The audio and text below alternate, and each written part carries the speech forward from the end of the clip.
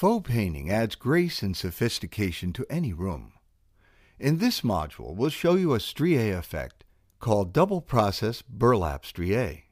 And we'll use two different color combinations to suggest the creative combinations you can try. The burlap effect creates a rich texture and handmade detail to the wall finish, which cannot be matched by similar wallpaper patterns. Both of these faux painting processes use the same technique and just two colors of paint. It's easy to do, and the results are very rewarding. Here's how. We've already painted two coats of primer on this demonstration section of drywall. Your wall should be clean, sanded, and smooth. Even if the existing paint is in good condition, it's a good idea to prime the room again. In this example, we'll be applying the darker stripes over a light base. You can experiment to determine the combination of colors that will work well with your room. The base coat should always be either satin or semi-gloss finish. We're using latex paint here for both easy application and easy cleanup. Apply the base coat over the primer coat with a roller, working over a 2 or 3 foot section of wall, and then filling in the spaces in between.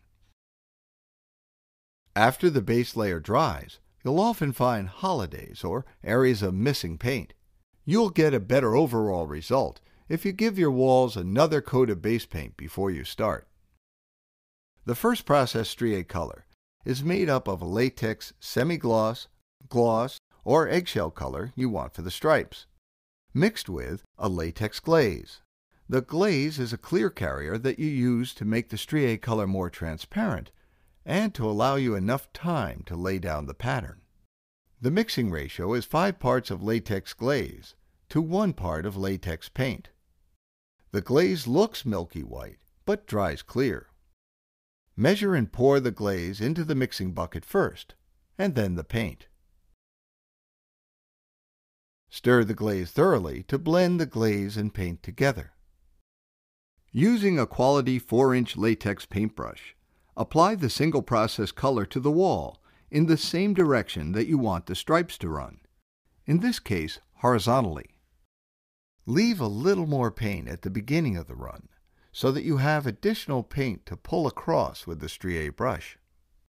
Apply enough paint to cover the width of two passes of the strié brush you'll be using. Paint the entire length of the wall. A strié brush is a special brush designed just to make strié stripes. Hold the brush flat to the wall and pressing down slightly, pull the strié brush slowly and steadily across the wall. Don't stop until you reach the end of the wall. As you get to the end of the wall, rotate the brush to carry the pattern over the edge. Return to the beginning of the wall, and holding the brush flat to the wall, pull the strié brush across the remaining paint, overlapping by a quarter of an inch. When the pattern's been applied, use the 4-inch latex brush to apply more single process color over the base coat covering an area just slightly under two widths of the strié brush. Overlap the previous pass by a quarter of an inch, keeping the brush nearly flat to the wall. Distribute the paint evenly. After two or three passes, wipe off the strié brush with a cotton, lint-free rag to remove the excess paint. When you're done, the first process should look something like this. Let the wall dry completely and use the time to thoroughly clean and dry your brushes.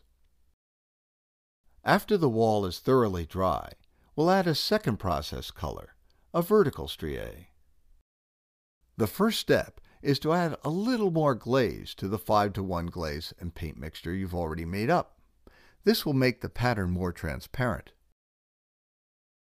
Using a quality 4-inch latex paintbrush, evenly apply the second process color vertically. Leave a little more paint at the top of the stripe to pull down with the strié brush.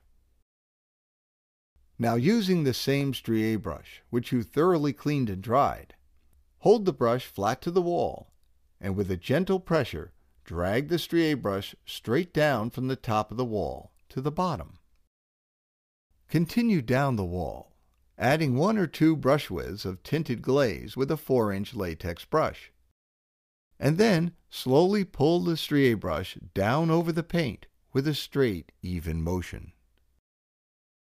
Using clean, lint-free cotton rags, wipe the Strie brush dry after one or two passes to keep the brush from loading with paint. It's the dry Strie brush that makes the crisp burlap pattern. The result is a rich, textured classic burlap pattern. Now you can alter the Strie effect by simply changing the colors you choose. For instance, you could make the second process color lighter than the first process color. Here, we mix the original beige base color with the latex glaze in a ratio of 1 part paint to 5 parts of latex glaze. Mix thoroughly and completely to blend the new glaze. Apply the glaze with a 4-inch latex brush, lightly brushing the glaze on with straight, even vertical strokes. Continue to apply the vertical stripes of tinted glaze, quickly following with firm, straight strokes with the Strie brush to set the pattern. It's a little trickier to get the pattern even when laying a lighter tint over a darker color. If the layer is too heavy, by working quickly, you can even out the pattern by going back over the area with a light touch. If there's a thin line of missing paint, add a little more glaze with a latex brush, and then gently smooth it out with the Strie brush. Altering color combinations creates endless possibilities, but the result is always the same a classic faux painting pattern rich in texture and sophistication.